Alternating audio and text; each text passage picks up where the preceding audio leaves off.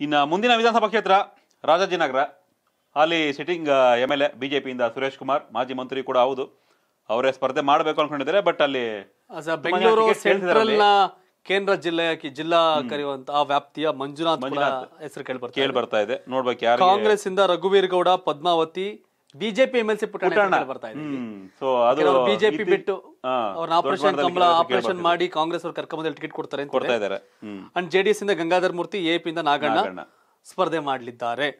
ಈ ಕ್ಷೇತ್ರ ಬಿಜೆಪಿಯ ಭದ್ರಾ ಭದ್ರಾ ಭದ್ರಾ ಕೋಟೆ.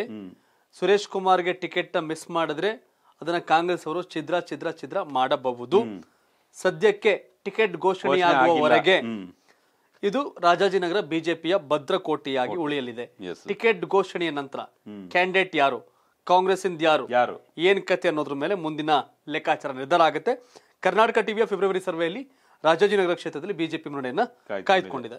ಮನೆ ಮಂದಿಯೆಲ್ಲ ಪ್ರತಿದಿನ ಜಿನಿ ಮೊಳಕೆ ಕಟ್ಟಿದ ಕಾಳಿನ ಪೌಡರ್ ಆಹಾರ ಸೇವಿಸಿ ಡಬಲ್ ಎನರ್ಜಿ ಪಡೆಯಿರಿ. ಯಾಕಂದ್ರೆ ಮೊಳಕೆ ಕಟ್ಟಿದ ಕಾಳಿನ ಆಹಾರ ದೇಹಕ್ಕೆ ಹಂಡ್ರೆಡ್ ಪರ್ಸೆಂಟ್ ಪೋಷಕಾಂಶ ಒದಗಿಸುತ್ತೆ.